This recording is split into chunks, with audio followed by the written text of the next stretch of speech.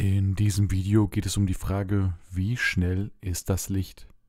Galileo Galilei versuchte bereits um 1600 herauszufinden, ob die Geschwindigkeit des Lichts unendlich schnell sei oder eine gewisse Zeit benötigt, um vom einen Punkt zum anderen zu gelangen.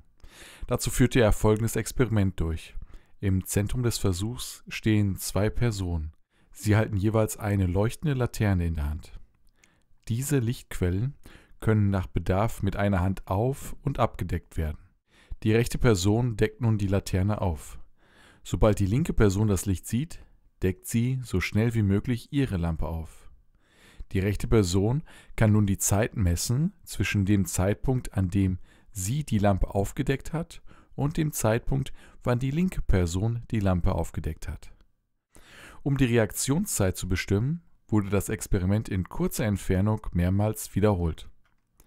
Danach führten die beiden Personen dasselbe Experiment in immer größerem Abstand und in der Nacht durch.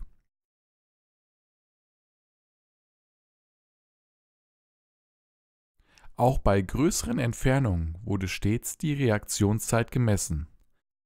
Somit konnte Galilei mit diesem Versuch nicht eindeutig sagen, ob die Lichtgeschwindigkeit unendlich groß ist oder nicht. Ole Römer übernahm den Grundgedanken des Experiments von Galilei. Zu seiner Zeit war bekannt, dass der Jupitermond Io 42,5 Stunden benötigt, um den Jupiter zu umkreisen. Immer wenn der Mond Io im Schatten des Jupiters eintaucht, ist er von der Erde aus nicht mehr zu sehen. Somit hatte man eine Lichtquelle, die sehr weit entfernt war und immer mal an und ausging.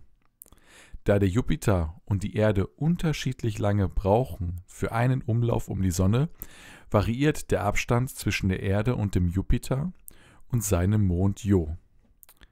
Römer wartete nun auf den Tag, an dem die Erde dem Jupiter sehr nahe war und startete die Zeit, als Jo gerade aus dem Schatten des Jupiters austrat.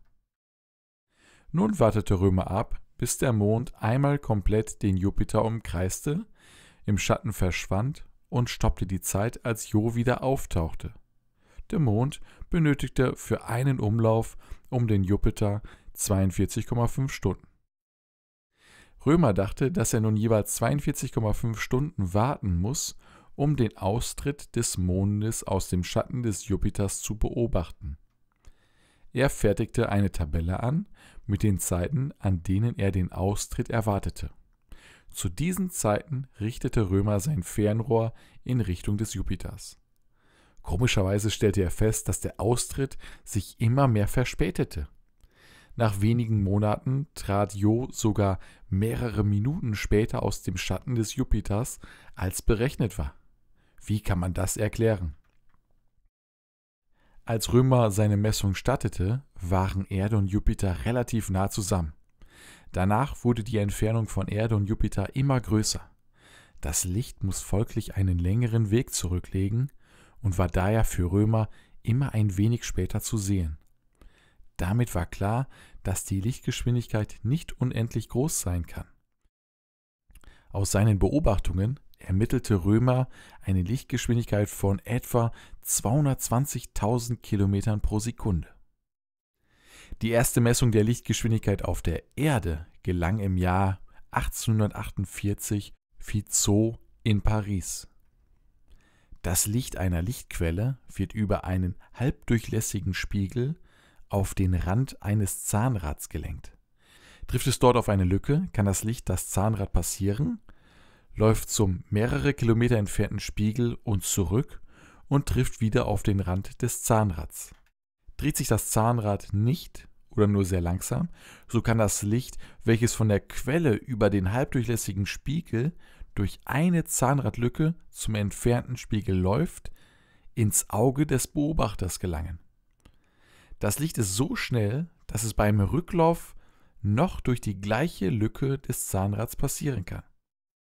Jeder Lichtblitz gelangt also ins Auge des Beobachters, der bei sehr langsamer Zahnraddrehung die Lampe im Takt der Zahnfolge aufblitzen sieht. Bei schneller Umdrehung kommt unser Auge bei den Hell-Dunkel-Wechseln nicht mehr mit, es sieht eine mittlere Helligkeit.